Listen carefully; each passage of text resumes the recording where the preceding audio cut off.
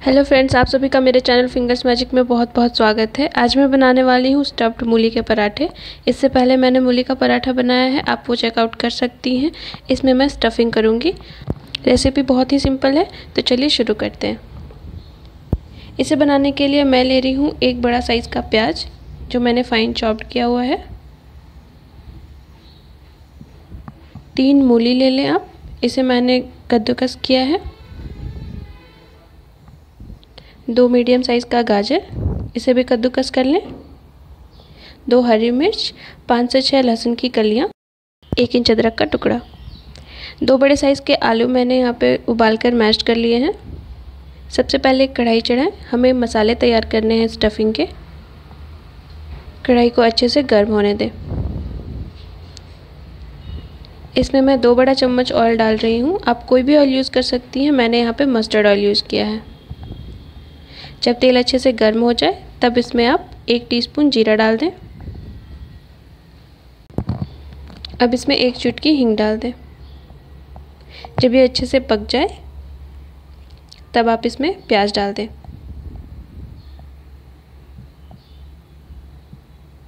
Mix कर लें अच्छे से।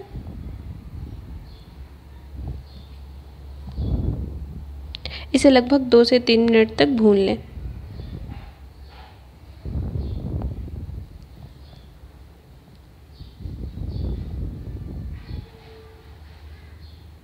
जब ये थोड़ा पक जाए, तब इसमें ग्रीन चिली डालें।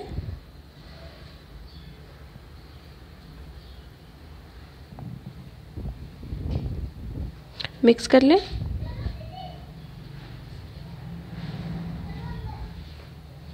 अब इसमें अदरक और लहसुन डाल दें। एक चीज़ का आप ख्याल रखें, आप इसे कद्दूकस कर सकती हैं। मैंने इसे चॉप कर लिया है। आप कद्दूकस करके भी अदरक और लहसुन इसमें डाल सकती हैं। अब इसमें गाजर डाल दें, जो हमने कद्दूकस करके रखी हुई थी।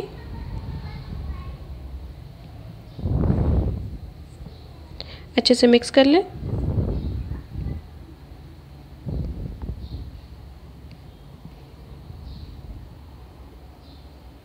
अब इसमें मूली डाल दें।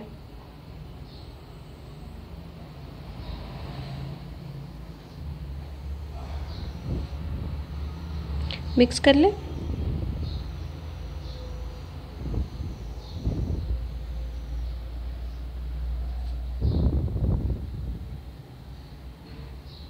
इसे थोड़ी देर ही भूनें।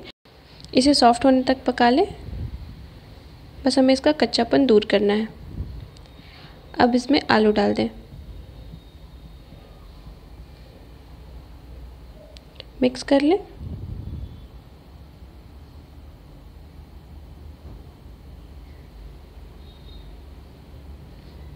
फ्लेम आप मीडियम टू लो में रखें।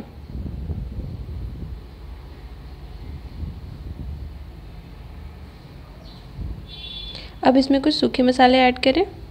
सबसे पहले नमक डालें, स्वाद के अनुसार। एक टीस्पून हल्दी पाउडर डाल दें। एक टीस्पून चिली फ्लेक्स डालें। इसे मिक्स कर लें।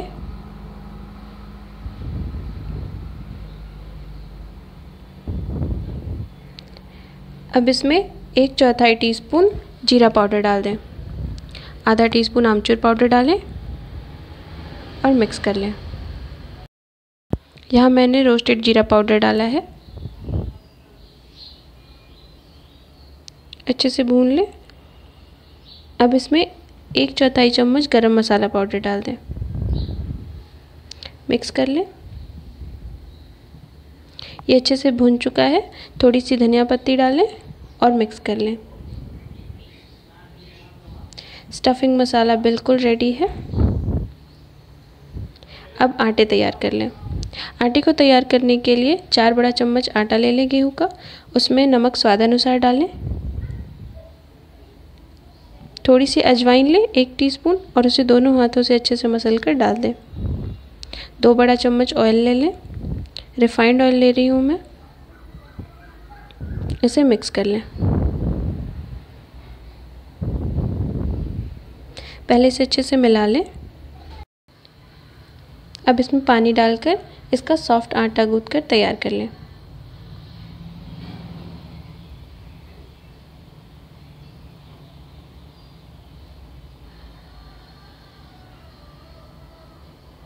हमारा डो बिल्कुल रेडी है। बिल्कुल इस तरीके से आप सॉफ्ट आटा तैयार कर लें। इसे 10 मिनट के लिए अलग छोड़ दें। 10 मिनट के बाद आप इसे फिर से अपने हाथों से मिला लें। अब हम इसके पराठे तैयार करेंगे। सबसे पहले इसके पेड़े काट लें। थोड़े बड़े पेड़े काटें। इसे रोल कर लें और इस तरीके से दोनों हाथों से आप कटोरी तैयार कर लें। ये देखिए।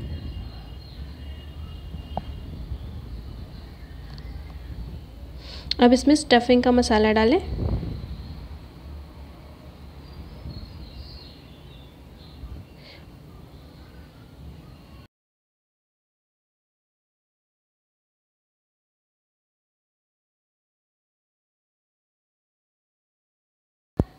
और दोनों हाथों से इसे सील कर दें। इसे अच्छे तरीके से बंद करें ताकि जब आप इसके पराठे बेलें तो ये फटे ना। और मसाले बाहर ना आए।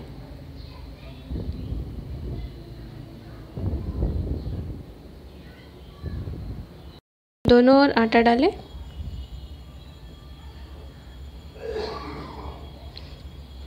अब इसके पराठे तैयार कर लें। बिल्कुल हल्के हाथों से बेलें।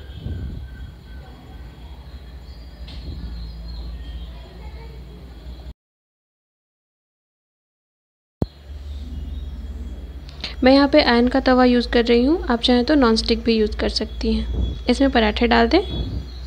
जब ये एक तरफ़ से सिक जाए तो दूसरी तरफ़ से भी अच्छे से सेक लें। जब तक ये सिक जाए, तब तक हम दूसरे पराठे भी तैयार कर लेते हैं। इसी तरीके से आप स्टफिंग डालें। इसे सील कर लें।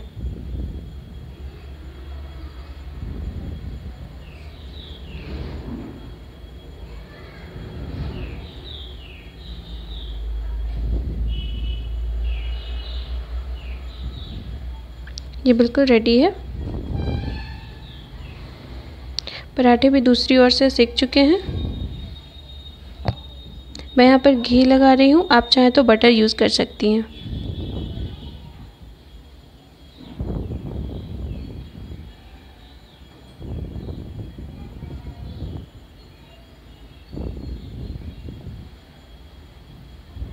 दूसरी ओर पलट दूसरी ओर भी घी या बटर लगा लें। फ्लेम आप मीडियम टू लो रखें।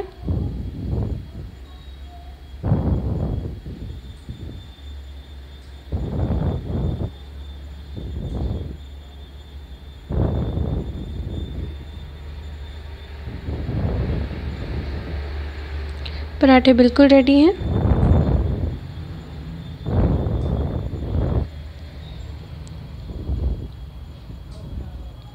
इसी तरीके से आप बाकी पराठे भी तैयार कर लें।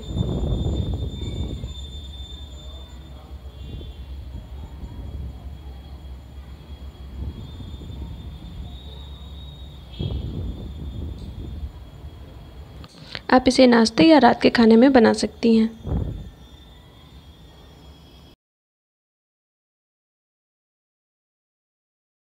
स्टफ्ड पराठे बिल्कुल रेडी हैं। आप इसे आलू की सब्ज़ी या पनीर की सब्ज़ी के साथ में सर्व कर सकती हैं। उम्मीद करती हूँ आपको ये वीडियो पसंद आए